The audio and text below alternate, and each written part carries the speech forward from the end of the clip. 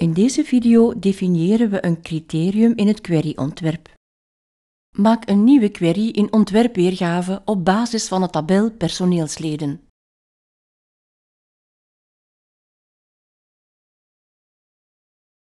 Voeg de velden familienaam, voornaam, vestigingscode en afdeling toe aan het ontwerp. Typ de tekst vorming op de rij criteria in het veld afdeling.